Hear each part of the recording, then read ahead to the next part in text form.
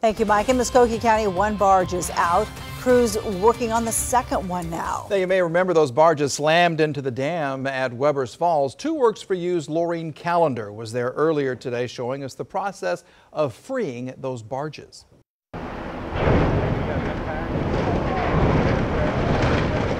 Mary Schrei remembers watching the two loose barges float towards the Webbers Falls Dam about a mile from her home.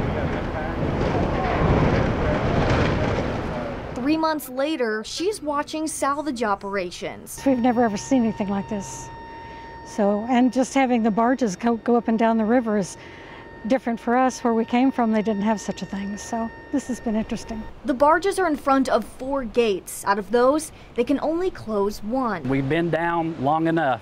Uh, you know, it's not only an impact to our navigation industry, we have hydropower plants, we've got water permittees upstream. Army Corps officials say the situation at the dam isn't the only thing affecting the system. This has been a, uh, a year where we've seen more rainfall than we've probably seen uh, and since I've been working for the Corps of Engineers and dealt with the kind of flows that we've had to deal with, this, this is not typical for the navigation system. Based on a study done a few years ago, officials estimate overall daily economic impact to be over $20 million. The impacts not only to Oklahoma, to Arkansas, to Kansas, to all the around the surrounding states that use this navigation system, hydropower. When you start, you know, bringing all those into play, you're, you're, talking about big numbers. Officials say when the barges are removed, they'll drop the gates and check for damage. Once we're comfortable that everything is structurally sound and we don't need to make any on-the-spot repairs, our next goal is to get the pool filled back up. They'll hope to fill the pools within a week.